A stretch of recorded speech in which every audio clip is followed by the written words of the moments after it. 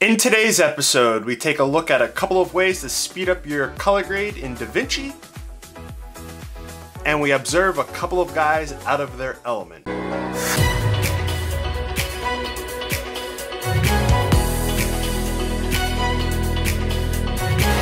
All right, so here's our project for today. I made a quick timeline to go over a couple of these tips to speed up your color grade.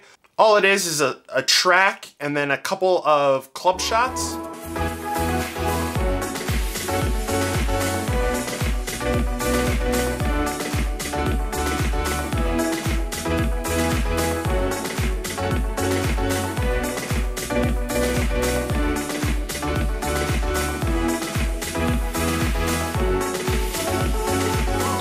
And we have our two guys that were out of their element that night that I was filming there. All right, so let's get started. Our first thing is enabling our clips. This little square above each shot, what that'll indicate is if there's any adjustments to it. So if you add any type of LUTs, any type of color grade, anything of the sort, it will then have a little colored square there. So then you know that there was some type of an adjustment added to that. The next thing is once you do have, so let's go through here and add a little bit of a color grade in here. So I'm just spreading out everything. And then let's say we'll add a LUT to this. So I'll come into my LUTs and I'll add a quick LUT into here.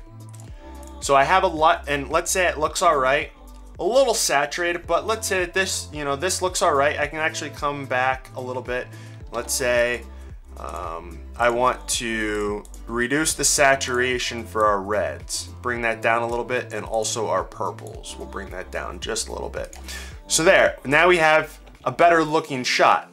Let's say we want to add it to another shot, and let's say it's this shot. All you have to do is have this shot highlighted, come over to the shot that we want to copy the grade, and middle mouse button, and it'll copy that whole node tree. No matter how in-depth it is, it'll copy the whole thing for that clip. There's a couple of different adjustments here, but this is for when you're copying clip adjustments from clip to clip. We have some other adjustments in here you can see as well as a timeline. And all you have to do is just make one adjustment and you wanna add it to the whole project. What you could simply do is come into our timeline node tree and you could add all of your adjustments in and those adjustments will then get added to all of your shots in the whole timeline. I would be, you know, cautious on that, but it is an option, it is something that you can do. So we've copied node trees from one shot to the other, and we've also edited our timeline node graph. So the next thing that you can do is, let's say you had more than just two or three shots. Maybe it was 50 shots or 60 shots. Maybe we're in a, um, interview situation where we have an A camera and a B camera and it cuts back and forth. So altogether, there might be, you know, 200 shots, but it's only two angles and the camera settings never change. So we would only really have to make two adjustments. What you can do in that, in that situation is you could highlight all of, by just holding control, you could highlight all of the shots that you want to be the same and you could simply right click and add into group up here. Add into a new group, and then you can name the group whatever you want it, A camera, B camera, whatever the situation is, name it, and now all of these are linked together. They still have the ability to be affected by your timeline node graph.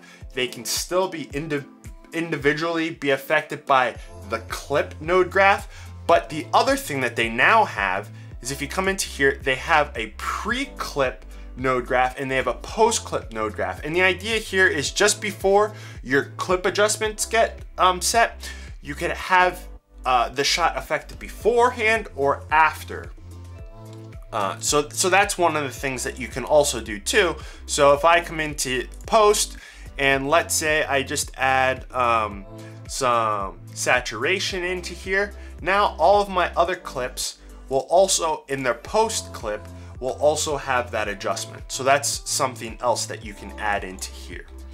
The next one is, let's say you work on a project. So similar for me, for when I do these tutorials, I have my set, it's always set up the same way, and I always have to add the same adjustments to the project. So what you can do is, let's say in, in um, for this shot here, we're just gonna stay on clip here and we're going to add some adjustments in here. So I'm going to quickly just add some, some uh, contrast into our shot.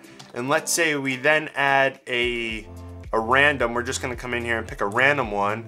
Okay, we have a, a random LUT in here maybe. And let's say we also want to make sure that our blacks are actually black and they're not colored. So we'll do that, right? So let's say that this is this is the a color grade that I'm gonna use pretty often.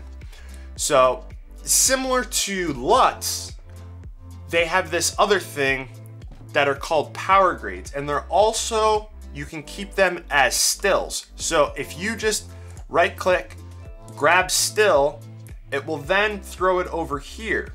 And you can use stills for a couple of different things, but the first way I'm gonna show you is if you have, let's say this shot here and you want this same color grade, you could simply middle mouse button over this and it'll copy all of those adjustments that you used on that to build this still, okay? The other thing that you can do is you can click play still and then you can get a side by side for when you're color grading. Maybe you want two shots to look the same. You could then use this still and you could you know go back and forth. There's tons of different adjustments here to get it to look different ways. Um, you know, you could have one go in and out, but you, you now have the ability to do that. Additionally, you can add what's referred to as a power grade. Stills are just kept within that project. Power grades are kept for all of your projects. They're they're held in your database and they they can be pulled from any any other project. So, for instance, my tutorials, here's my tutorial grades. If I wanted to, I could remove this current grade. Let's get rid of this. And if I wanted to, I could add what I currently use for um, this, this shot here. I could add that to this. Now it's gonna obviously give different results because you know this is completely different than this scene.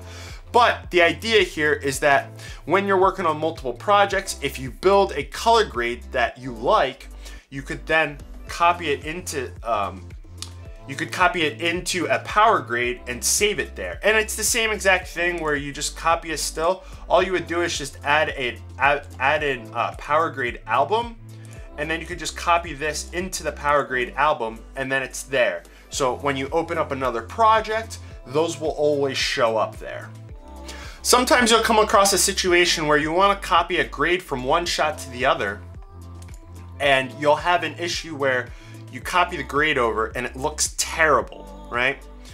Or maybe there's just one aspect of that grade that you want to copy over from one shot to the other. A cool thing that you can do is let's say this is the shot that I want to copy over. You grab your still by right clicking grab still, right?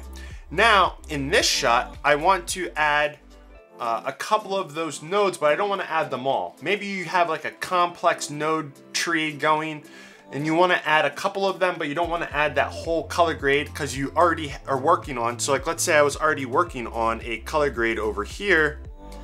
Uh, I, now I want to add a couple of those other nodes. So a cool thing you can do is, let's say this is the, the uh, look that you wanted to copy.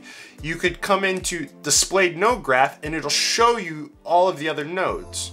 And a cool thing that you can do is you can say, okay, well, I want to add this node, this node, and this node. So you come over here, you add, or maybe it's just the two nodes. Maybe it's just this node and this node and not the, uh, not the one with the LUT. So we'll come over here, this node we already have here, it's blank. You just grab this node and you can drop it in and it'll just drag and drop those. Or maybe it's just, we wanna copy just this uh, LUT here. So we can copy just the LUT. Um, I found that to be really helpful when you have a really good look and you save it and then you start working on another shot and that look doesn't work but you want a couple aspects out of it because when you when you copy a when you copy a grade it's to copy over the whole grade. So that was always a pain in the butt. I just wanted to copy like one or two nodes so there's a quick way of copying just a couple of nodes or whatever the specific things are that you want um, from one to the other. so the final thing I'll leave you with is whenever you're doing tracking for like power windows, I would recommend disabling your color grade just so your computer has more resources to allocate to playing the video and also tracking the subject or whatever it is that you're tracking. Your computer doesn't have to spend extra resources to add whatever the color grade that you have on. And with that being said, there's my couple of tips on how to speed up the process when color grading. If you have any questions or comments, leave them down in the comments area. Again, my name's JR and thanks for watching.